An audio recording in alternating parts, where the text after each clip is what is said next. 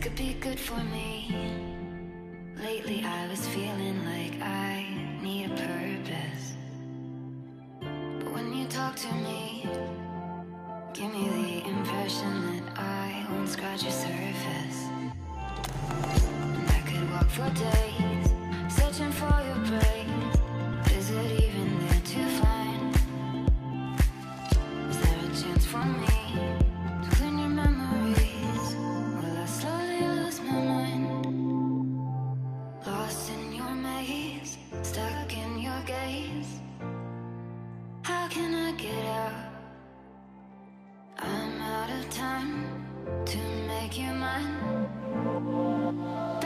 идите кушать. Сень кушать, Соня кушать. Всем кушать. Садись.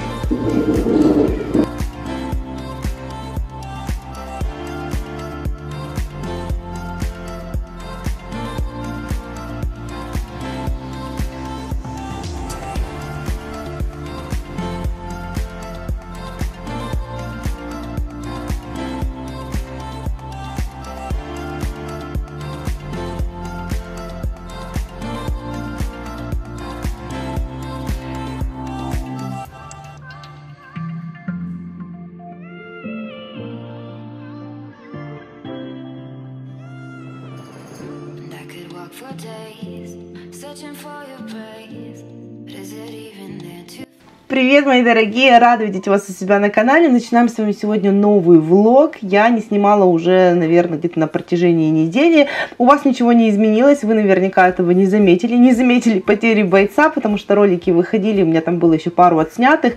Но по факту в этот момент мне уже было совершенно не до съемок. У нас была настоящая эпидемия. Прям так все по-серьезному. В общем, у нас получается, что а, в один из дней заболел Арсений, у него а, начался кашель, сопли. Ну, Как обычно, ОРВИ начинается. В общем, а, это был четверг в пятницу. Ну, я смотрю, ухудшений никаких нет. Думаю, возможно, это опять аллергическое. Сейчас как раз самый сезон, в амброзия цветет. И, в общем, отправила, говорю, в пятницу, еще пятница, еще сходи в школу, а там суббота, воскресенье.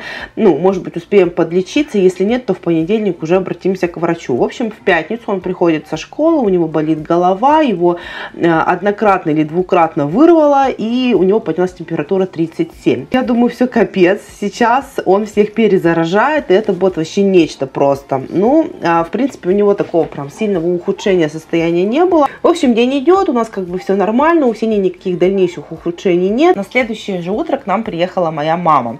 Она видела, как я, ну, по видеороликам, по разговорам, она видела, как я зашиваю, что мне очень сложно, я ничего не успеваю, и она решила приехать мне хотя бы на недельку помочь, как-то, знаете, просто дать мне возможность выдохнуть и вообще влиться в эту новую жизнь. Так вот, она как раз прилетела в субботу. Мы оставили Соню с мамой, Соню, Сеню и а, поехали в МФЦ, потому что у нас все еще не сделаны были документы, а в МФЦ нам нужно было еще оформить э, документы на региональный мат-капитал, в общем, в общем, а, у нас там еще с мат-капиталом не все решено, короче, там была нужна именно, нужно было именно мое присутствие, поэтому нам пришлось Илюше, мне и Степану ехать в МФЦ, и, в общем, как только мы закончили там все свои дела, мама позвонила и сказала, что у Сони температура 38,6. Боже мой, в общем, мы ломанулись домой, естественно, приезжаем, у нее действительно температура, у нее обсыпан весь рот, прям вокруг рта все покрыто такими огромными красными прыщами. Я говорю, это что такое, это как? В общем, что мы предположили, что это сыпь вокруг рта, это, скорее всего, какая-то аллергическая реакция, хотя Соня у нас вообще по факту не аллергик, но все же больше ничего на ум не пришло, потому что препараты еще мама никакие не давала, единственное, что она и давала, это смородиновый морс, то есть обычная смородина с сахаром, ну, знаете, в баночках заморожена, мама из нее намешала морс. морс. Мама из нее намешала морс, чтобы та пила, и у нее немножечко спадала температура. В итоге все, что нам пришло в голову, что мы могли предположить, это то, что все-таки это аллергическая реакция на большое количество сахара. То есть мама делает смородину с сахаром один к одному, то есть достаточно прям так сладко, а Соня у нас такого количества сахара никогда не ела. Поэтому мы решили, что, возможно, это именно на сахар. Но когда в течение дня эта сыпь начала распространяться по всему телу, причем она имела абсолютно разный вид, то есть начинались какие-то маленькие сухие прыщики, а, переходящие в уже более большие, и они были совершенно не похожи на аллергические высыпания. То есть у нас все не аллергики, мы в принципе прекрасно знаем, как выглядят аллергические высыпания, и это было совершенно не похоже. То есть это были отдельные точечные какие-то прыщики, причем все разного вида, и когда они созревали, они становились с некой какой-то субстанцией такой внутри, и мы даже предположили, что это, наверное, ветрянка. Хотя, опять же, место локализации этих прыщиков, ну, никак не подходило под ветрянку, то есть их не было, абсолютно не было на спине, их абсолютно не было в волосах, они локализовались только на лице, потом пошли по рукам, ногам, и очень-очень много их было именно на пятой точечке Сониной. Но так как не было больше никаких симптомов, ни кашля, ни соплей, то есть вот только держалась температура, мы температуру сбивали, причем у нас сбивалась достаточно трудно. Обычно Соня очень хорошо помогает нурофен, и здесь он начинал действовать через полтора-два часа после приема. Это достаточно много, потому что обычно он действует где-то через полчаса, через 40 минут. В общем, в субботу мы еще пережили, в воскресенье уже вызвали скорую к вечеру, потому что температура температура не спадала, то есть она ну, сбивалась да, с помощью жаропонижающего, но она как таковая на нет не сходила. Хотя я знаю, что обычно температура, если она поднимается, да, при каких-то болезнях, она держится три дня, но Соня уже начала себя плохо чувствовать, то есть она, у нее было ужасное состояние, она безумно капризная была, она все время орала, визжала, она не давала никому себя трогать, то есть видно было, что ее что-то беспокоит. В общем, к воскресенью она перестала есть, потому что было видно, что ей больно кушать, что, видимо, во рту у нее тоже тоже что-то, какие-то, может быть, эти же прыщики появились. В общем, приехала скорая, сказала, что ваша сыпь это просто аллергическая реакция на нурофен, у ребенка обычная ОРЗ, ОРВИ, в общем, неважно что, температуру сбиваем, идем к педиатру. Мы, в общем, остались в полном недоумении, понимая, что даже мы, в общем, такие не врачи, не специалисты, видим, что сыпь на аллергическую не похожа. Ну ладно, решили, естественно, ждать до завтра, вызывать педиатра, и когда приехала педиатр, а у нас же сейчас нет нашего педиатра, она уволилась, к нам ходит педиатр совершенно с другого участка, но довольно-таки такая компетентная девушка молодая. А, она меня уже очень много раз достаточно удивила. Прям, не знаю, мне нравится. Мне бы очень хотелось, наверное, попасть к ней на участок, чтобы нас как-то перевели. В общем, она пришла, первым делом посмотрела на Сонину стопу и говорит, у вас энтеровирусная инфекция. Ой, когда я прочитала в интернете, что это, я вообще, мы с таким никогда не сталкивались, ни разу мы этим не болели.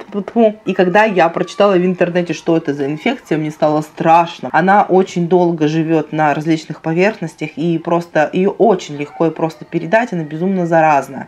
А, понятно, что нам дали лечение, то есть мы начали проходить лечение, но у нас стал вопрос с тем, как не заразить Степу. Потому что, естественно, что это практически невозможно контактировать, ухаживать за Соней и не заразить Степу. В тот момент я поняла, как же, слава богу, хорошо, что мама приехала мне помогать. То есть вот тот весь период, который мама у нас провела практически на протяжении недели, она полностью занималась детьми, готовкой, уборкой, а я просто не выходила из комнаты, только покушать в туалет и погулять со Степой. Потому что здесь у меня были созданы условия реанимации, ежедневная уборка с доместосом, Мама ежедневно тут приходила, нам замывала полы. Я заходила сюда в комнату сразу же, то есть я выходила, одевала халат, заходила, халат снимала, обрабатывала руки антисептиком. Плюс я сама, кстати, тоже заболела, у меня начались сопли, кашель, температура один день держалась.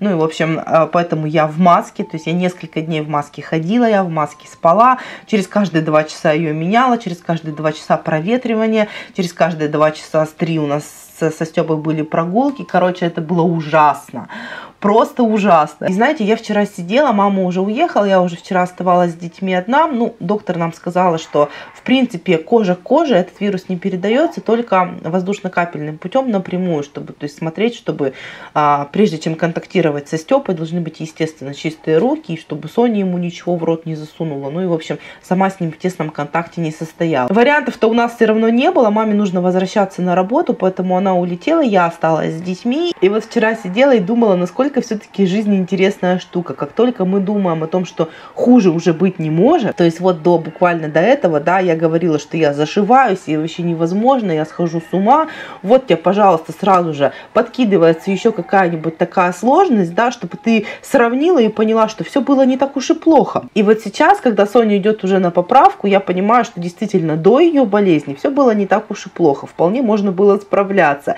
То есть это, знаете, такой специальный, как будто созданный судьбой барьер для того, чтобы э, как бы вернуть тебя на землю и дать тебе понять, что все у тебя не так уж и дурно, да, и ты прекрасно со всем справляешься. Так что вот такая вот у нас прошла насыщенная классная неделя. Сонька, конечно, очень сильно прям переболела. Я говорю, Соня болеет достаточно редко, но метко. То есть если Соня заболела, то это прям вообще у меня стресс самый настоящий, потому что это тяжело. В принципе, тяжело, когда болеют дети, когда болеют такие маленькие, очень тяжело, и с таким сильным повышением температуры, это капец вообще для любой мамы и для любого папы. В общем, так вот прошла наша неделя, как вы понимаете было абсолютно точно не до съемок. То есть вот у меня был видеоролик, который выходил вот перед этим. А он был отснят у меня за неделю до того, как вы его увидели. Потому что я просто эту неделю, я не могла его смонтировать. У меня не было на это ни сил, ни времени, вообще ничего. Вообще эта инфекция такая страшная, довольно-таки штука. Я никогда, мы раньше с ней не сталкивались, никогда такое не слышала. И вот э, если вам интересно, почитайте в интернете. Огромное количество форм проявляются у всех по-разному. То есть у кого-то это может быть кашель, у кого-то это вот как у Сони, например, например, высыпание, температура, сплошь до менингита, вообще э, эпилепсии, вообще ужасное осложнение, такая страшная, в общем, штука.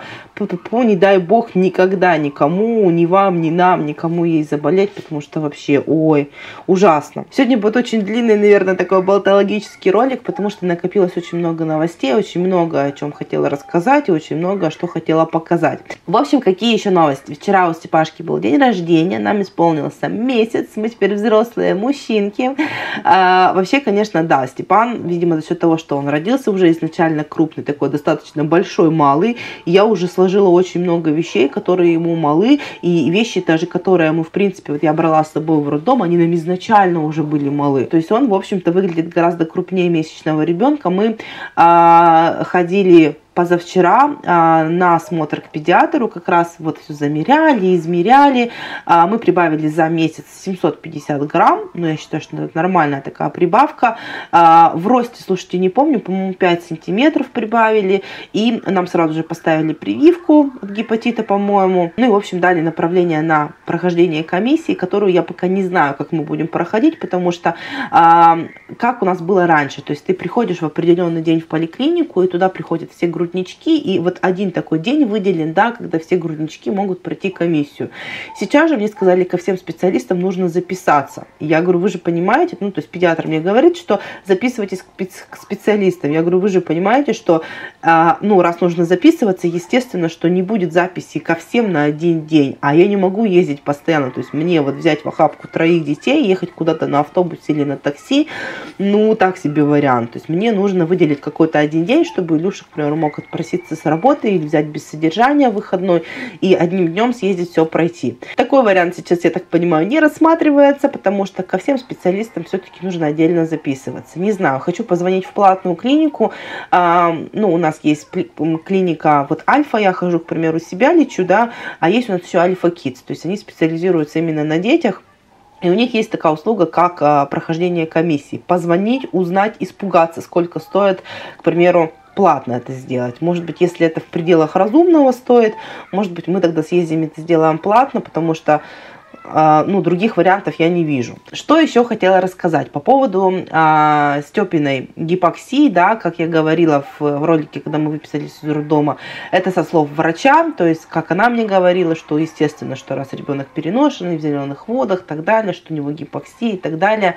А, в общем, спросила я у нашего педиатра, говорю, посмотрите, пожалуйста, изучите документы, которые нам выдали при выписке, скажите вообще, какие-то у нас стоят диагнозы, то есть, что вообще, как, как вообще мы позиционируете нашего ребенка. И, в общем-то, по выпискам, по документам у нас ни с чего не стоит. У нас нет никаких диагнозов.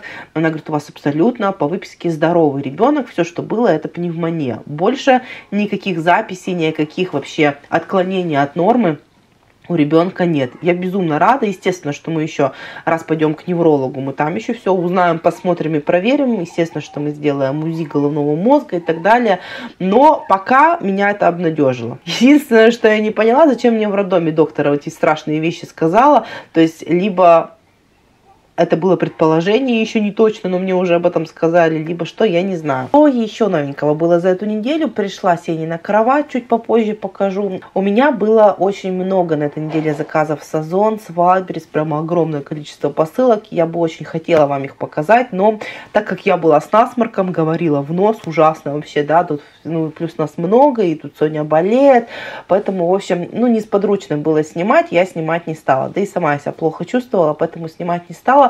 Ну, там э, ничего такого прям супер-супер интересного не было, я делала первый пробный заказ продуктов, я уже говорила, что хочу как-нибудь попробовать заказать именно продукты с Озон или с Валберис, да. А что я там заказывала? Я заказала мешочек риса басмати, а, я его просто обожаю, у нас а, в магазинах он встречается крайне редко и совершенно не такой, то есть а, я до этого первый раз, когда я познакомилась с рисом басмати, а, это у меня был заказ с интернет-магазина с какого-то, про который мне, на который мне потом жаловались, я не стала с ними сотрудничать, поэтому а, я заказала вот точно такой же рис, это индийский, в общем, в таком мешочке холщовом идет, классный, прям Обожаю его, уже прям жду не дождусь, когда я его приготовлю. Ну и, в общем, там что-то маленько по специям заказывала, каши для Илюши заказывала на завтрак. Ну, в общем, такое по мелочи, да, какая-то кондитерка. Ну, нормально, в общем, все приходит в отличном состоянии. Не знаю, мне понравилось, я думаю, что я буду в дальнейшем продукты тоже заказывать. А, еще, кстати, заказала банку нитритной соли, она такая в ведерке идет. Давно хотела, она нужна для приготовления каких-нибудь домашних мясных деликатесов, колбасок. Я когда искала какие-нибудь рецепты, мне очень хочется вообще дома начать вот такое всякое готовить. Мы не покупаем особо вся, всякую колбасу, вот эти все промышленные мясные деликатесы, а мы их очень любим. Поэтому мне очень хочется, ну, как будет посвободнее со временем, заняться изготовлением, ну, вот что-то попробовать такое сделать, возможно, купить коптилку. Ну, в общем, вот такие штуки мне очень хочется пробовать делать, но для них нужна нитратная соль. Я долго не знала, где ее взять, поэтому смотрела специально видео видеоролики, да, где делают всякие деликатесы, читала комментарии, где кто-нибудь, думаю, мало ли кто-нибудь спросит, где же взять нитратную соль, и на самом деле нашла, да, что она есть на газоне на Валберисе. Поэтому заказала ведерко. Как только со временем будет немного посвободнее, мы с вами будем учиться делать всякие вкусные колбасы и деликатесы я надеюсь. Ну и еще мне за эту неделю пришел заказ Faberlic. Здесь у меня бутылочка средства для мытья посуды, моей любимой с активированным углем. Больше в этот раз я ничего не заказывала для, ну, никаких средств для дома, потому что у меня все деньги ушли на покупку этой прелести. Я увидела эти ботинки, я в них влюбилась и поняла, что эту осень мне без них не пережить. Они безумно классные, они очень-очень крутые, у них просто шикарный цвет. И я уже примерно знаю, с чем я буду их носить. А, честно скажу, не ожидала прям какого-то супер крутого качества, потому что я заказывала с Фаберлик Сеньки в прошлом году к первому сентября в школу на вторую обувь кеды.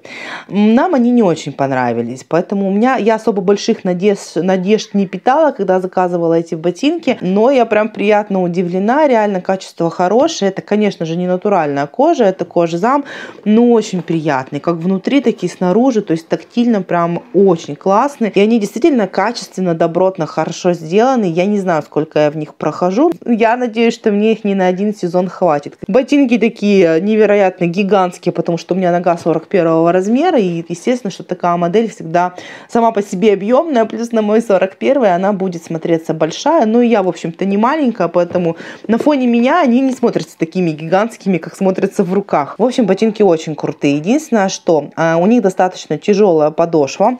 То есть она как будто бы, знаете, прям полностью такая летая резина резиновая, и, возможно, не всем будет удобно ходить.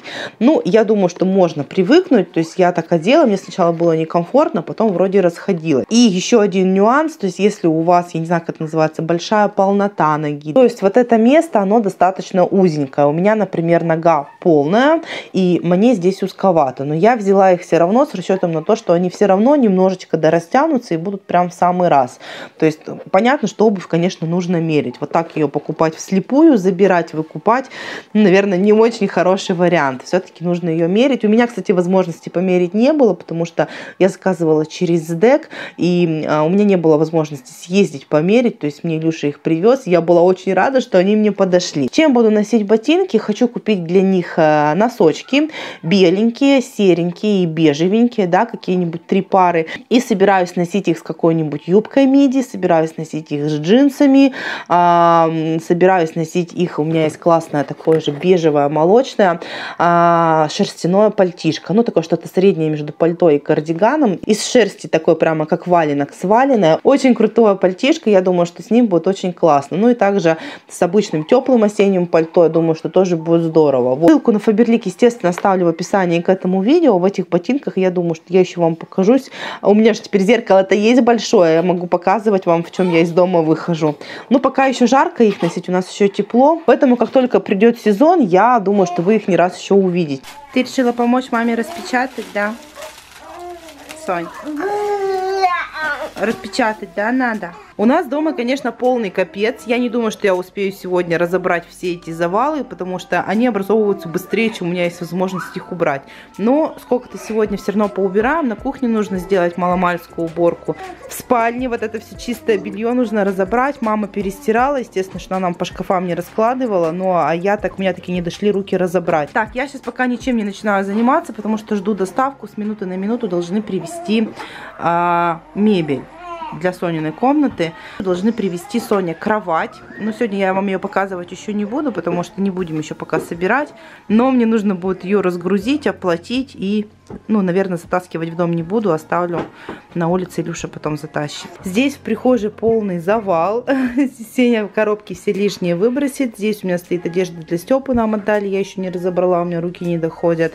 А, вчера поднимались с Илюшей на чердак, снимали оттуда одежду. А, то есть у нас одежда долгое время хранилась на обычной стойке, да, и туда много не помещалось, поэтому я всю лишнюю одежду, которую, ну, более-менее редко одевала, я ее всю убрала на чердак, думаю, потом, когда шкафы будут, тогда уже достанем. В общем, достали огромное количество вчера баулов, просто невероятное. Все я перебрала. Вот это вот у меня то, что я оставила. Ну, еще э, Степе комбинзончик уже потеплее спустили. А остальное это все моя одежда, ее нужно перестирать и будет поместить в шкаф. Вот здесь целую сумку вещей собрали то, что мы выходные отвезем в церковь. Ну, я не знаю, я слышала вообще, что в церкви сейчас не берут вещи для нуждающихся, то поэтому не знаю. В общем, мы спросим, если не возьмут, значит выбросим. Но это вещи, которые я уже не буду носить. И, а, ну, такие уже, знаете, они прям не супер-супер новые. Все, что было более-менее такое прям новое, в хорошем-хорошем состоянии, я оставила, еще мне есть кому отдать. А это я уже думала так именно нуждающимся собрала. Ну, в общем, не возьмут, если в церковь, значит, э, ну, поставим рядом с мусоркой, кто-нибудь возьмет, кому надо. В общем, расхламилась вчера по полной программе, как вы понимаете. Ты куда с горшком-то пошла? Ты с горшком-то куда пошла? На улицу, что ли? Туда? Нет, туда только мама выйдет. Пока я с вами разговаривала, как раз приехала доставка. Вот все, что у нас приехало. Матрас и, собственно, кровать для Сони. А, это я заказывала тут у нас так скажем, ни в каком, ни в сетевом магазине у наших мастеров. А, самая такая приемлемая цена получается. Это кровать-домик для Sony. Размер мы взяли 90 на 180. Я вообще хотела изначально другой размер, но их не было в наличии, под заказ полтора месяца ждать. Поэтому взяла, выбрала из того, что было в наличии. Ну, собственно, сразу матрас, сразу же в комплектацию ящики. Ну, понятно, что потом вам покажу, когда соберем. Пока что это вот выглядит в таком виде. Я уже говорила, что я хочу у Сони в комнату кровать именно домик, а, вне зависимости от того, какая кровать потом будет у Степы, либо мы эту продадим и будем покупать им какую-то общую кровать, либо, значит, Степе будет потом покупаться такая же. И этих домиков, их на самом деле невероятное количество, их очень большой ассортимент в интернете. Я выбрала самый классический вариант, чтобы если вдруг мы Степе захотим потом поставить такую же кровать, мы ее 100% нашли в любом магазине, в котором есть кровати-домики. Поэтому я выбрала прям такой стандартный, стандартный вариант. И вот именно вот э, там, где мы заказывали, да, ну, если кому интересно, я могу поделиться ссылкой. Э, это ребята, они тут в Анапе, я так понимаю, делают мебель, либо в Краснодаре, Краснодаре поставляют сюда в Анапу, либо в Анапе делают и поставляют по всему Краснодарскому краю. В общем, наши здесь местные, и у них самая прям приятная цена. То есть эти домики, к примеру, я смотрела на Хофе, самый дешевый вариант это выходил 13 тысяч, 14, ну там до 20 с лишним доходило, в других магазинах еще порой дороже. У них, э, вот, значит, наш размер 90 на 180, в общем, сейчас покажу. Здесь же у ребят, смотрите, получается по стоимости вот что. Значит, комплект ящиков ящиков 3 420. Сама по себе кроватка 90 на 180, 11 410. Но это э, не сосна, это не бук, это береза. Поэтому береза, по-моему, если я не ошибаюсь, вроде как получше идет, чем другие породы дерева. Ну, вот да, из этой ценовой категории.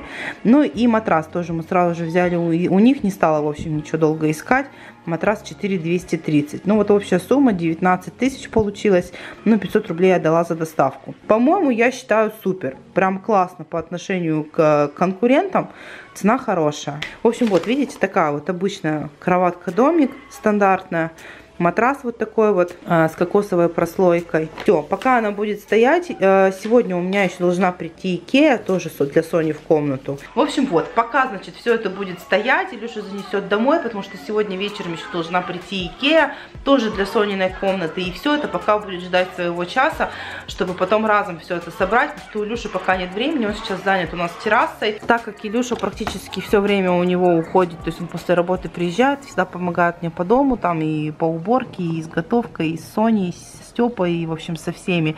Поэтому у него абсолютно не хватает времени на все остальное. Он ночами у меня этим занимается. Вчера начал вот, наконец-то, уже перекрывать крышу. Ну, я думаю, что сегодня закончит, и уже можно будет, наверное, заняться Сониной комнатой, собирать ей мебель. В общем, вот так вот пока получается. Ну, не могу сказать, что уже стало намного темнее в кухне. Ну, естественно, что будет темнее. Это бесспорно. То есть Э, крыша будет темная достаточно, естественно, что света будет поступать меньше. Но я думаю, что это не критично. По крайней мере, будет место, где можно выйти спокойно в любую непогоду, попить чаечку. Единственное, что, видите, у нас терраса будет не закрытая, собственно, то есть только вот перилки здесь пойдут. И для того, чтобы ее можно было использовать и осенью, и зимой, то есть, слава богу, у нас регион позволяет, да, делать, э, ну, и осенью, и зимой на улице сидеть то я думаю, что нужно купить специальные шторы уличные для террас. Я уже смотрела, приценилась. Безумно это, конечно, очень дорого. Я посчитала, что мне на эту веранду надо на 12 или на 14 тысяч купить эти шторы. Поэтому, ну, они такие прям ветрозащитные, влагонепроницаемые, чтобы их можно было задернуть и спокойно здесь сидеть в тепле и сухости. То есть они не будут пропускать даже во время дождя. Ну, по крайней мере, как заявляет производитель. Ну, в общем, пока это в перспективах. Я эти шторы присмотрела, но пока, естественно, что мы их покупать не будем. Это сейчас не первая необходимость. Так, показываю, что еще нового. Диван, как видите, мы наконец-то смогли сбагрить. С горя пополам за копейки его отдали, поставили зато сене кровать. Но, как видите, с кроватью что-то не то, как вы понимаете. В общем, Хофф... Э не знаю, как так они работают, не знаю, как так получилось, но опять, видимо, нам повезло. По отзывам кровать замечательная, действительно, ну, нормальная кровать. Меня вполне устроило ее качество за те деньги, сколько она стоила. Она у нас идет шириной метр двадцать на 2. А по цвету она не чисто белая, но она не будет стоять прямо вплотную со шкафом, поэтому это сильно в глаза не бросается, зато она идеально подходит под цвет дверей. Прям один в один рисунок и один в один цвет.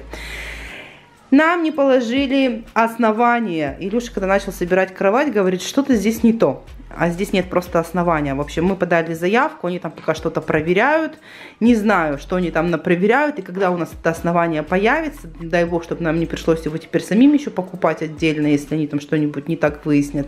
Короче, Сеня спит пока вот так. Ну, дивана-то нет. Не Ему, говорит, норм. Ну, в принципе, у него есть возможность спать на диване на кухне, но его устраивает здесь. В общем, каркас, собственно, у нас есть, получается, основания у нас нет. Мы положили матрас. Матрас мы, значит, распаковали. День мы ему дали на то, чтобы он отлежался, потому что он был свернут в, ну, в рулон, да, в вакуумный. В общем, вот такой вот матрас. А, это беспружинный матрас. Я вам говорила уже, да, что я его сезон заказывала. Высота у него не помню какая, но он достаточно такой высокий, по запястье. Ну, в общем, нормальный матрас. Енька говорит, вроде удобный, такой умеренно жесткий. Не знаю, нам понравился. Ну, в общем, потом, когда уже придет основание, положим матрас и уже покажу вам, как это все будет смотреться. Так, и Соне сейчас будем делать туземца. В общем, нам выписали вот такой вот штукой смазывать ей все высыпания. Она такая белая, как паста, как мел в воде растворенная. После Сони потом все мажется. Извозюкан весь диван, все кругом белое. Соня вся белая, но мы над ней смеемся говорим, что она как туземец. В общем, буду сейчас ее смазывать, буду кормить Степу, буду кормить их. И уже потом к вам попозже вернусь. Так, дети сидят, едят, обедают. В общем, сейчас покушают и буду заниматься уже делами, если Степа еще не проснется. А, оказывается, когда я в последний раз рассказывала вам про грибок в ушах, оказывается, это проблема у многих. И меня просили показать, какое выписали лечение. Ну и, может быть, есть среди зрителей отоларингологи, которые посмотрят, ну, как бы правильно, нет выписано лечение. И, кстати, спрашивали, брали ли у меня какие-то пробы, мазок, нет, ничего не брали, то есть он с моих слов и чисто визуально но определил, что это грибок. Ну, там, как бы, знаете, там, э, ну, те симптомы, которые я называла, там прям явные, там не может быть ничего другого. Короче, выписала вот такое вот лечение. Кому интересно, я знаю, что многие спрашивали, чтобы я написала название капель. И вот мне как раз про кандибиотик писали в прошлый раз, что сразу же с него можно начинать. Вот он у меня тоже в курс входит. И в прошлый свой отит я тоже кандибиотиком лечила. Заказывала я себе еще с Валбериса джинсы. Слушайте, у меня, я не знаю, как у вас, кто есть у меня зрители, крупные девушки, такие же, как я, для меня купить джинсы это настоящая беда, прям проблема. Слушайте, такие огромные.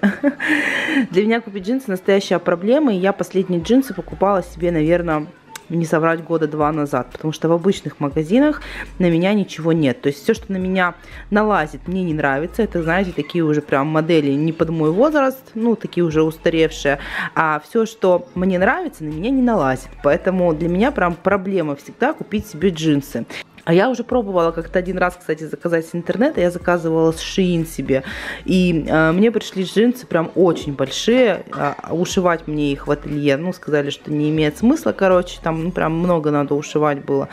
А я на тот момент еще была похудевшая после того, как Соню родила. Попробовала в этот раз заказать себе новые с Валбериса. Очень крутые, прям вот по размеру мне в этот раз они подошли. Качество хорошее, по деньгам они были очень-очень бюджетные. Тысячу 700, если я не ошибаюсь. Поэтому, девочки, кто крупненькие, кому нравятся такие модельки, могу тоже поделиться ссылкой, если интересно. Ну, в общем, как-то так получается. Мне кажется, хорошо сели джинсы, неплохо смотрятся с этими ботинками. Будет еще лучше смотреться, надо купить какой-нибудь свитер. Я хочу какой-нибудь вот такой вот джемпер на пуговках. Именно вот такой светлый, как ботинки, и будет, мне кажется, очень-очень здорово. Еще у Степашки заказывали вот такой вот мобильчик. У нас вообще мобиль а, от тени был хороший, и Соня еще им пропользовалась, но до Степашки он не дожил. Мы его случайно уронили, в общем, и разбили. Поэтому у Степашки вот такой вот новенький мобильчик.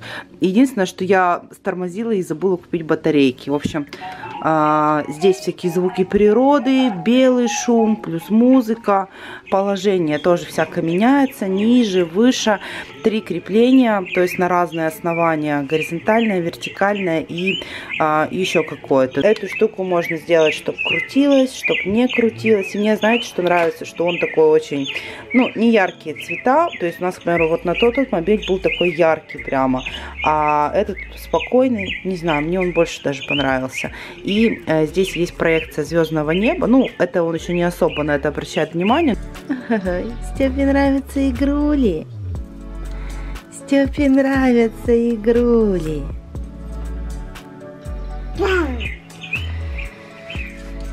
И Соне нравится, да? Соне нравится Степа. Степа. Высоко там, да, он. Не видно тебе ничего. Ничего не видно?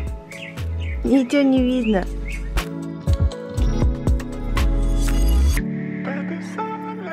И вот мы новую дугу еще только что распаковали, тоже после сени с Соней.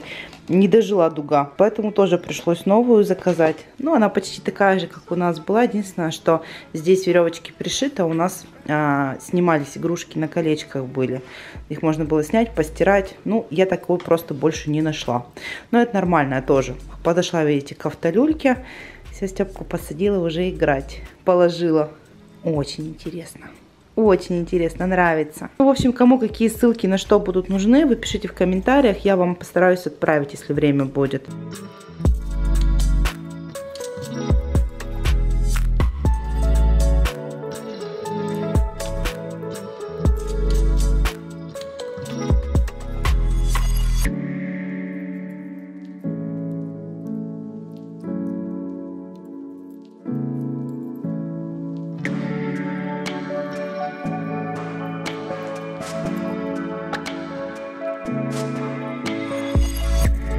Сонечка что-то выбирает себе на осень 2021.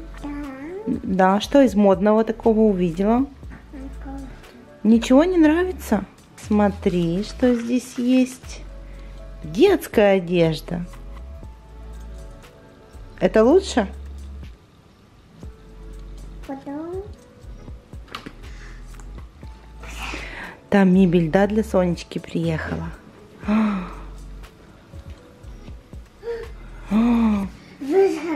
Там, да. А, да, да. Вот так. Да, там. Да, там. Что там? Еще мебель? Коробки, коробки, все папа, ага, какие-то таскает.